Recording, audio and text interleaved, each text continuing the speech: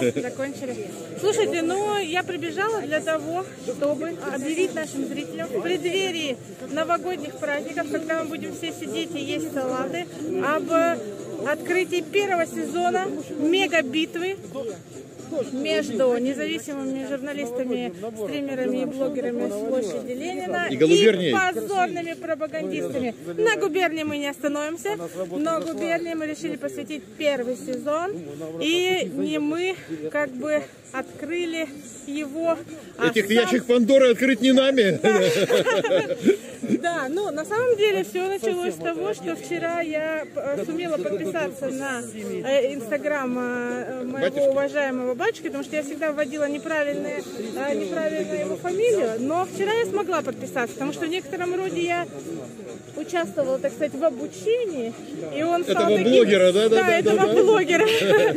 И решила я посмотреть, на что он на нынешний день способен. И наткнулась на видео, где у него здесь на площади Алексей Филимонов рассказывает о том, что когда я сидела в спецприемнике, а именно 3 декабря, то есть именно тогда, когда мне дали очередные 10 суток, один из товарищей, который называет себя настоящим профессиональным журналистом и является редактором мегахолдинга «Губерния», а именно Вячеслав Коренев. Коренев решил бросить меня булыжничек, да, как-то набрался смелости, так просто сказать. как- как- Когда я в камере за да. железной дверью э, лежу, он выбрал момент, так сказать.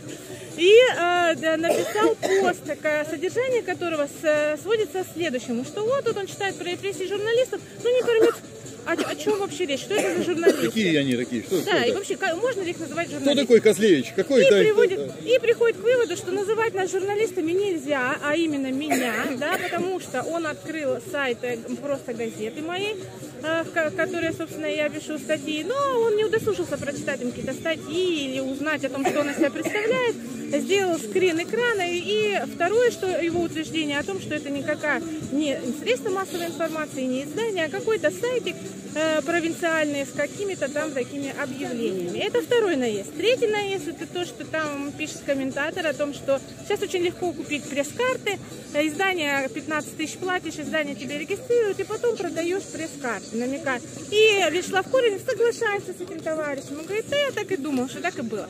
И вот вчера, и вот вчера на этот удивительный пост натыкаюсь я и говорю, ничего себе, какая прелесть, я не могу пройти мимо этого.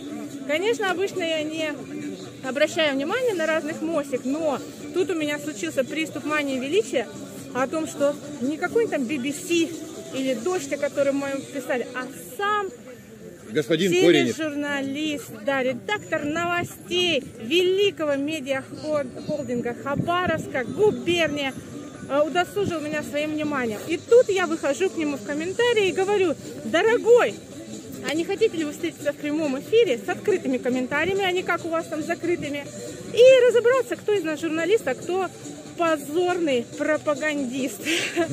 И господин Коев ответил, что зрителям, читателям и вообще жителям Хабаровска ни митинги, ни а, разборки между журналистами, ни я, собственно, не можем быть интересными. Как он и об этом узнал, непонятно, потому что комментарии на телеканале «Губерния» давно закрыты, и они обсуждают это, видимо, только вдвоем.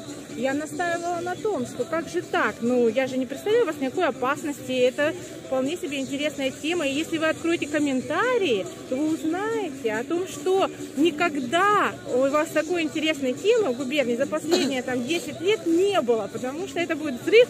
И я, дорогой тележурналист, подниму вашей губернии то, что давно упало, а именно ваш рейтинг. А, пожалуйста, в любое время, в назначенный час. Но товарищ не просто меня забанил, Он удалил этот пост. Да? но потом, когда братья-журналисты, потому что здесь у нас на площади Ленина рожда- родилось на наших глазах не только гражданское общество, у нас родилось сообщество независимых журналистов, которые подставят друг другу плечо, которые друг за друга порвут, можно сказать. И когда я сообщила об этой удивительном совершенно э, посте в Фейсбуке товарища э, Коренева, то штаб Навального отреагировал. Катя Бияк сказала, а ну-ка давай померимся дипломами, дружочек. И, э, соответственно, люди пошли посмотреть, а что это вообще и как это возможно. Как возможно такая подлость, когда человека за журналистскую деятельность садят в тюрьму, и, и он в спину вслед бросает, э, бросает ей камень. Кто вообще способен, какой, ну, если даже не журналист, а какой мужчина способен на такую подлость? И Ну, он не когда- журналист и не мужчина просто, и все. ну вот ну, хотелось бы разобраться, глядя человеку в лицо, понимаете? Мне бы хотелось не заочно с ним, а прямо вот тет на тет разобраться публично. Но, тем не менее, он струсил, отказался, и после того, как люди к нему пошли с э, вопросами, он вообще полностью удалил пост. Естественно, что мы предугадывали такое э, событие, и все соскринили, и, соответственно, открываем Интернет сезон. помнит все. Да, битва экстрасенсов будет затменена битвой, мега-битвой между независимыми журналистами и пропагандистами. И мы сделаем несколько сезонов с различными, с различными видосиками с э, губерний, которые очень интересны. Например, я вам хочу сказать, я пошла посмотреть, и сейчас они подводят итоги политического года. Как вы думаете, что губерния внесла в итоги политического года? Дегтярева. Подождите, сначала это пандемия, потом, а, первое это трудная экономическая ситуация в губернии, э, второе это пандемия, третье это арест э, Фургала, и четвертое перескакивает сразу на Врио э, губернатора, останавливаясь и продолжая только о нем.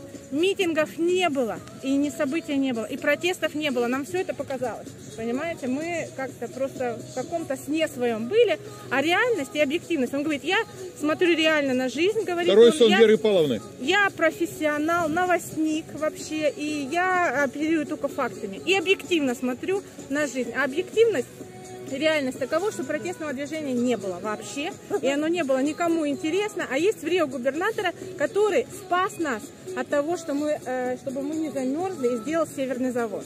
И говорят о том, например, вместе с генеральным директором медиахолдинга, говорят, «Вы посмотрите на Владивосток, там русский остров э, замерзал. А мы, благодаря в Рио губернатору, у нас Так у нас, слава богу, не было ледяного дождя, как там.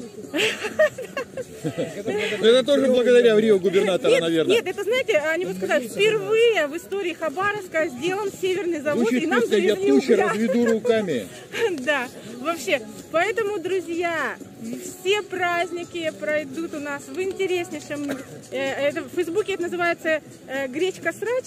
С тех, с тех старых времен, как Татьяна Толстая поссорилась с Боженой Рынской. Да, мега-срач. Но мы назовем это сезоном мега-битвы. И приглашаем всем к участию. И мы, независимые журналисты, Будем, э, будем вас держать в курсе и делать убойные видосики э, с губернии. И все-таки я надеюсь, что это приведет к тому, что они пригласят нас в свой прямой эфир и откроют свои комментарии. Деваться им некуда. Или они заварят главную дверь, ходить через подвал. А мы рваться, как эти, как ФСБшники рвутся к Навальному, да, с пилой такие. Прямой эфир. Да, ну, собственно, интересное все впереди. Спасибо. Спасибо. Спасибо. Присоединяйтесь к нашей.